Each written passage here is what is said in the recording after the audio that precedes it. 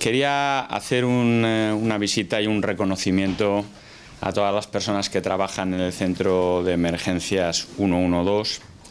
Creo que es importante destacar algunos datos fundamentales. Este centro tiene por un lado los trabajadores que atienden al teléfono ordinario del 112, también aquellos trabajadores de las urgencias sanitarias ordinarias y además están aquí también los trabajadores de quienes eh, desde la crisis del coronavirus han atendido el teléfono 902-222-000.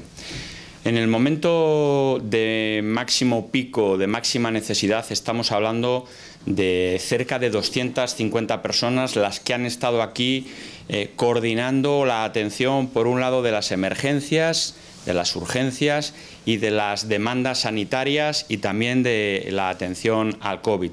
Y quiero hacer ese reconocimiento para que los cuerpos y fuerzas de seguridad del Estado, para que la unidad militar de emergencias, para que los voluntarios de protección civil, para que los bomberos pudieran atender, llegar a cada una de las personas de todos los rincones de la geografía de Castilla y León, para que la atención primaria pudiera desplazarse a todos los rincones para atender esas emergencias, era fundamental que hubiera estas personas aquí y vengo a hacerles un agradecimiento, un reconocimiento. Fíjense, en el momento de mayor eh, intensidad de la crisis sanitaria se duplicaron las llamadas que aquí se recibían. Se resistió, se atendió adecuadamente. Eh, eh, ha sido un servicio muy demandado por las personas. Ahora mismo, que estamos ya en una fase de desescalada, de tranquilidad, están incrementándose las llamadas entre un 20 y un 30% aproximadamente, dependiendo del momento, del día, de la hora y de la circunstancia.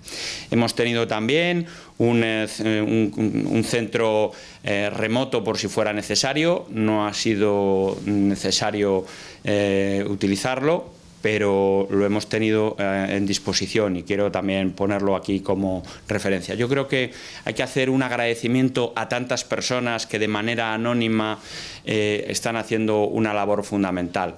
Y aquí hoy en el centro 112 hacer ese reconocimiento a todas las personas que han estado trabajando para que se pudieran resolver los problemas de las emergencias y de las urgencias sanitarias y de las urgencias COVID que hemos tenido a lo largo de estos últimos meses. Un agradecimiento de toda la sociedad de Castilla y León a todos estos trabajadores que han estado aquí eh, dando el callo en estos días tan complicados. Muchas gracias.